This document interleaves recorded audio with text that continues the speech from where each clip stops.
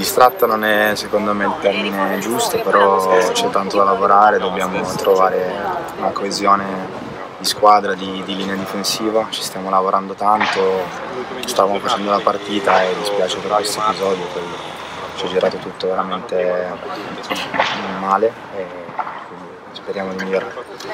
È difficile secondo me dare, dare un termine perché comunque si può sempre migliorare anche verso la fine del campionato. Sicuramente si stanno vedendo dei passi in avanti e speriamo già dalla partita di, di domenica di, di, di, stravolgere comunque i pensieri di tutti e di trovare una, un, un, punto di partenza, una coesione che ci dia lo slancio per, per fare bene. Il girone senza dubbio non, l'ho scelto anche per questo, è un girone complicato.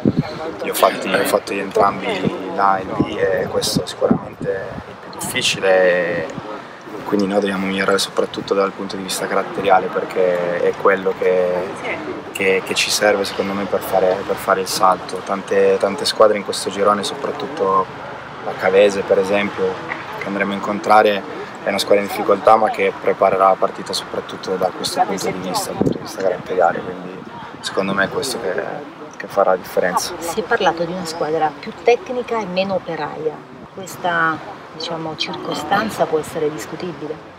Ma è senz'altro un'analisi che può essere giusta. Come ha detto anche il mister in conferenza, noi dobbiamo tirarci sulle maniche, le maniche, sporcarci e, e appunto calarci nella parte. Come sta eh, il bomber Cianci? E come stava e come sta? E come stavate voi quando 300 tifosi continuavano ad applaudirvi? Alla fine. Ma il bomber eh, sicuramente era il più dispiaciuto sabato sera.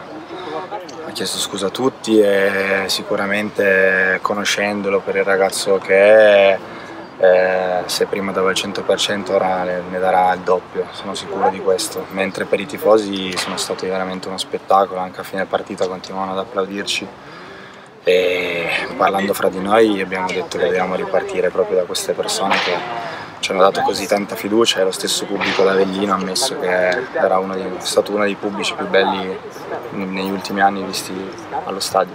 Ma sicuramente dobbiamo prenderci le responsabilità e quindi io la reputo una gara fondamentale, importantissima, quindi senza ombra di dubbio questa settimana a testa bassa dovremmo senza parlare lavorare, lavorare, lavorare.